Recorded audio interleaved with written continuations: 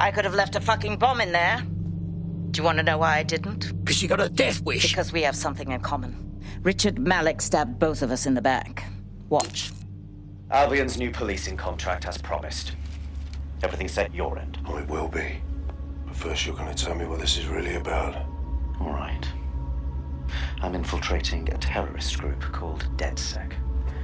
I'm setting up a meeting with them, and your men will capture me before DedSec arrives. So it has to look real. They can't know it's a setup. You are a piece of work, Richard. What the hell are you getting out of this? Dead terrorists.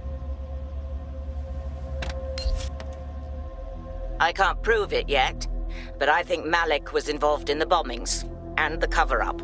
What's more, I think he and his conspirators are planning to do it again. He said the same about you. He would. It's basic tradecraft.